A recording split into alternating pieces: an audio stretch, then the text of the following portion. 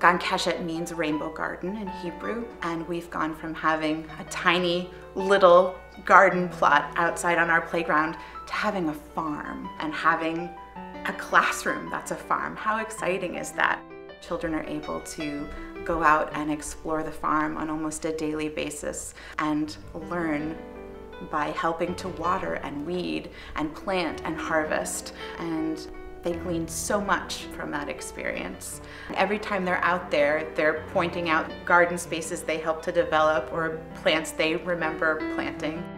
It's really exciting to see them really kind of take on responsibilities, feeling like they're part of the farm staff.